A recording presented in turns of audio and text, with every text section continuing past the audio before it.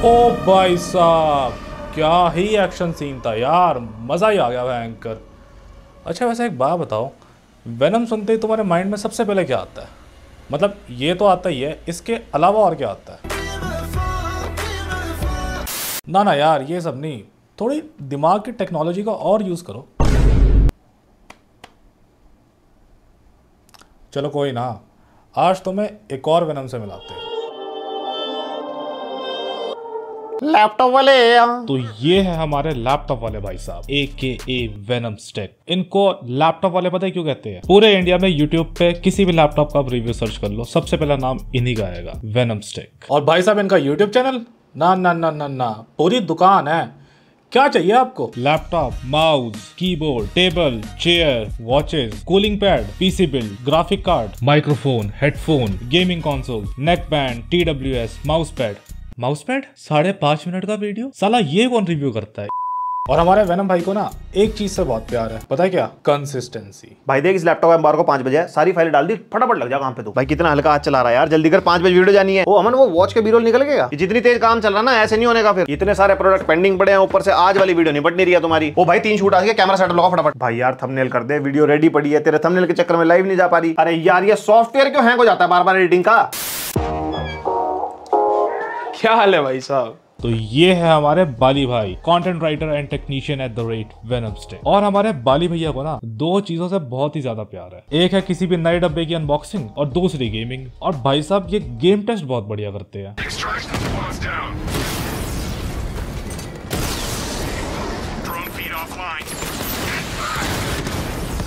भाई साहब करे यार।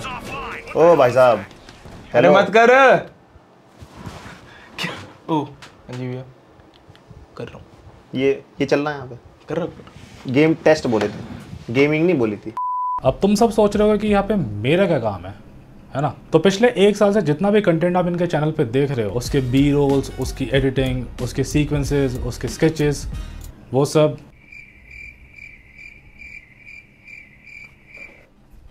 तो आज हम आपको बताएँगे कि एक टेक रिव्यू कैसे शूट होता है, कैसे एडिट होता है क्या क्या प्रोसीजर्स रहते हैं। तो आज हमारे स्टूडियो में एक मक्खन व्हाइट लैपटॉप आया है, जो है लिनोवो लीजन फाइव तो सबसे पहले की जाती है लैपटॉप की टेस्टिंग एंड स्क्रिप्टिंग उसके लिए हम यूज़ करते हैं कुछ कागज़ और यह हमारा फेवरेट ढाई लाख का पेन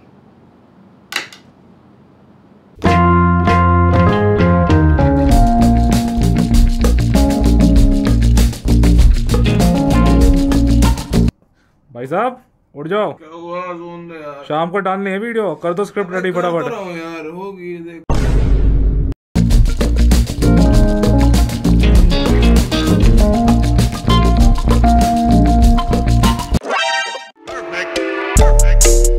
तो यहाँ पे हम दो कैमरा सेटअप का यूज़ कर रहे हैं। एक है हमारा ZV-E10 जिसको हमने लगाया है टेस्टिंग के लिए। और एक है हमारा सोनी A7S3 जो हमारा सेकेंडरी कैमरा है, जो ये पूरे टाइम लैप्स को रिकॉर्ड कर रहा है। जेड वी टेन को हमने लैपटॉप पे काफ़ी पास रखा है सो दैट हमारे बेंच हमारे दर्शकों को काफ़ी क्लियरली विजिबल हो। एंड लैपटॉप की बैक साइड पे हमने एक एलईडी लाइट प्लेस की है एम्बियंस क्रिएट करने के लिए। और यहाँ पे हमने क्लॉक रखी है अपने रूम टेम्परेचर को मॉनिटर करने के लिए।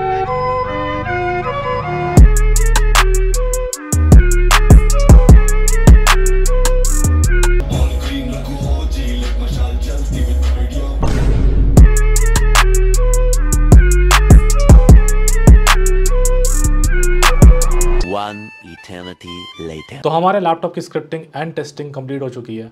अब बारी आती है मेन शूट की। तो बुलाते हैं अब अपने वैनम भाई को। वैनम भाई, आ जाओ। शूट का टाइम हो गया।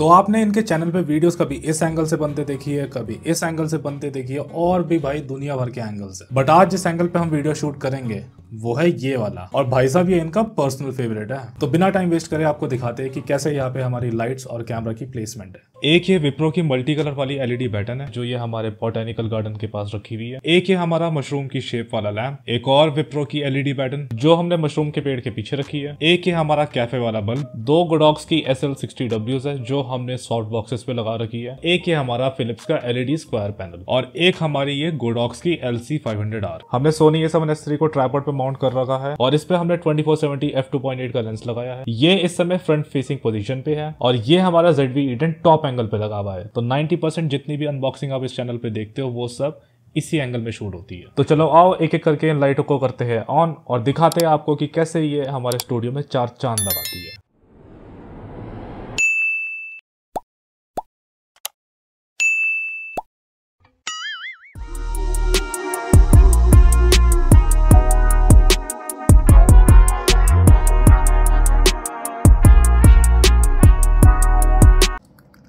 इंस्टाग्राम पे स्टोरी रुक जा रुक जा मैं भूल जाऊँगा देखो एक भाई साहब ये कुछ ज़्यादा नहीं हो गया बहुत लेट कर दी थी वन टीबी की PCI four PCI gen four five point one लिख रखा फाइव पॉइंट टू है इसके अंदर बावड़े भाई पसीने क्यों आ रहे हैं कितने में चल रहा है ये क्या फ़ायदा सैंतालीस हज़ार पे खर्चने का जब ठंडा की ना दे पाए ये लाइटें मुँह पे पड़ती है ना पूरा गर्मी हो जाती है पसीकर सुनाओ भैया ओ बजदा वूफर गड्डी च और थोड़ी देर में चप्पल में पैर डालना चल दिया सिनेमाटोग्राफर ओपी तो आपका प्रोजेक्ट छोटा हो या बड़ा हो? कोई फ़र्क नहीं पड़ता भाई साहब। क्यों? सबसे पहले बनती है एक बेस टाइमलाइन जिस पे मारे जाते हैं। खुल जा भाई। Cuts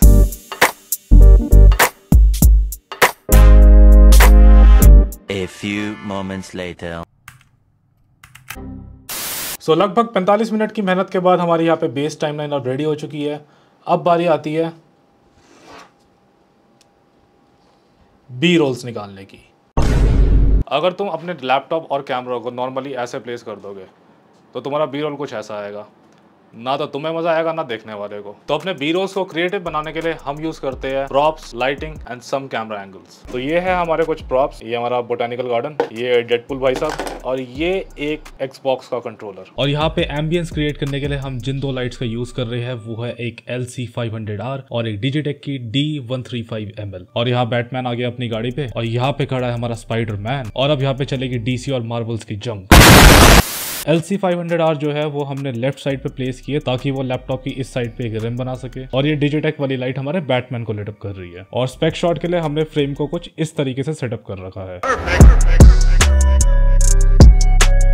और अब डिस्प्ले के स्पेक शॉट के लिए मैंने अपने लैपटॉप की पोजीशन को थोड़ा चेंज किया है। अब एल सी जो है, वो हमने लैपटॉप के राइट साइड पे प्लेस की है और यहाँ पे हमारे डेडपुल भाई साहब जंग में एंटर हो चुके हैं। शॉर्ट्स में थोड़ा सा डेप्थ क्रिएट करने के लिए मैंने अपने कैमरा की पोजीशन को थोड़ा डाउन एंगल पे रखा है और कैमरा का जो फोकल लेंथ है, वो मैंने 50 एम से 70 एम के बीच में रखा हुआ है। आप जितनी ज़्यादा फोकल लेंथ पे अपने कैमरा को रखोगे, आपका ऑब्जेक्ट उतना ज़्यादा सेपरेटेड रहेगा एंड एक ओवरऑल डेप्थ क्रिएट हो जाएगी आपके फ्रेम में और इससे ऑब्जेक्ट थोड़ा बड़ा भी लगता है।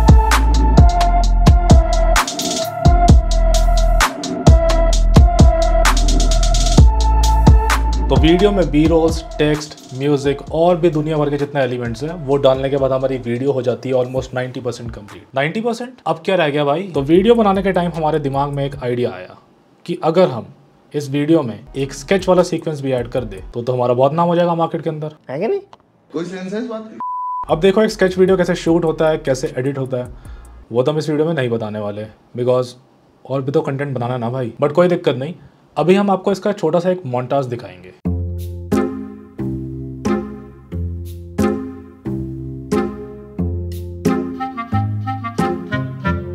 बोटानिकल गार्डन में घुस गया मैं। ये शॉट हुआ अब मेरा हाथ का शॉट ले सकता। कि यहाँ से माउस हटेगा सीधा फ़ोन उठेगा? वन टू थ्री को क्या बोलना क्या आपने। नहीं ऐसे नहीं ना वो। अरे नहीं नहीं यार तू सम, मेरा स्केच अलग चल रहा दिमाग में। है? सही में। मिल जाएगा क्या? सही बताओ।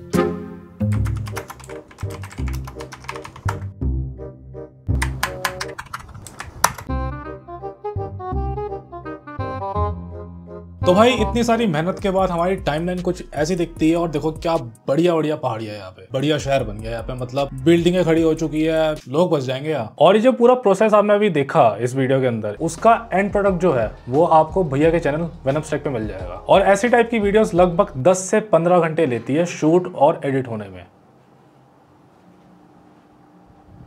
Hello sir hello friends meet our new friend मैंने कहा भाई देखो मेरे चैनल की वीडियो है तो क्यों ना मैं ही थोड़ी बहुत चीज़ें बताऊँ? और फ्रेम देख रहे हो कितना खतरनाक लग रहा है।